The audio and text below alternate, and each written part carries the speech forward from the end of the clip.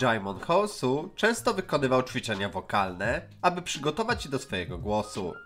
Jednym z nich był głośny, straszny krzyk. Reżyserowi na tyle spodobał się jego krzyk, że postanowił użyć go jako krzyku Drago do przywoływania smoków.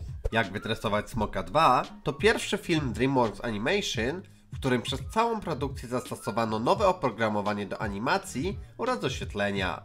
Programy o nazwach Premo i Torch pozwolą na znacznie więcej. Subtelności w animacji twarzy, drgania, luźnej skóry, wrażenia przesuwania się skóry po mięśniach, zamiast poruszania się całej masy. Reżyser powiedział: Myślę, że film wygląda o wiele lepiej niż pierwszy. Ponadto, nasz film jest pierwszym prezentującym zupełnie nową generację oprogramowania, które zostało opracowane w DreamWorks o nazwie Apollo. Poprzednich wersjach, jeśli chciałeś zrobić coś takiego jak wygięcie brwi, musiałbyś wybrać brew z menu i wpisać żądany stopień wygięcia, wprowadzić tę wartość liczbową i podczekać aż to się wyrenderuje. Podczas gdy nowy system pozwala im pracować w trybie znacznie bardziej intuicyjnym, używając rysika i dotykowego monitora. Utwór Into Fantasy, który można usłyszeć podczas napisów końcowych, został napisany i wykonany przez Aleksandra Rybaka, który udziela również głosu czkawce w wersji norweskiej.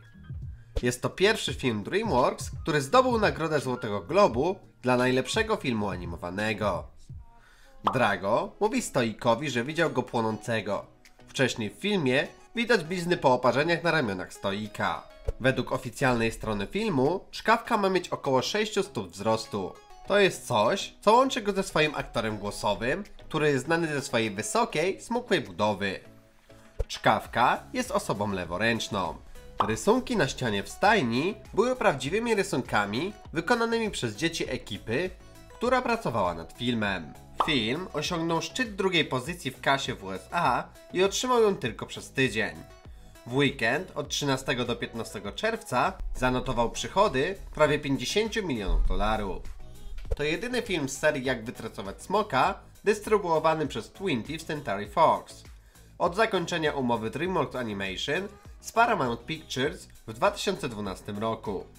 Kiedy Astrid mówi do Ereta nic nie wiesz, jest to odniesienie do sytuacji, w której Ygritte wielokrotnie mówi do Johna Snowa Nic nie wiesz Johnie Snow. Shrek oraz Jak wytresować smoka to jedyne serie DreamWorks oparte na książkach dla dzieci.